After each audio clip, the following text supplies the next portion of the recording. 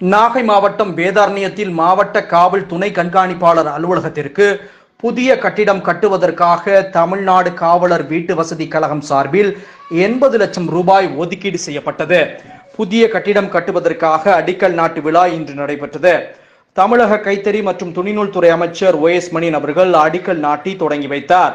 மாவட்ட காவல்துறை துணை கண்காணிப்பாளர் சபியுல்லா நாகை மாவட்ட அறங்காவலர் குழு தலைவர் கிரிதரன் ஒன்றிய குழு தலைவர் கமலா அன்பழகன் மாவட்ட ஊராட்சி உறுப்பினர் வழக்கறிஞர் சுப்பையன் மற்றும் வேதாரண்யம் காவல் ஆய்வாளர் செந்தில்குமரன் வேட்டைக்காரன் இருப்பு காவல் ஆய்வாளர் சுபாஷ் சந்திரபோஸ் மற்றும் காவல்துறை அதிகாரிகள் மற்றும் கழக நிர்வாகிகள் கலந்து கொண்டனர்.